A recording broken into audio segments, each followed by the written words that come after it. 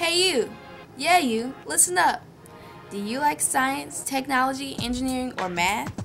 Well keep listening because you're in the right place. The third annual STEM Expo at McCluer High School in their hub.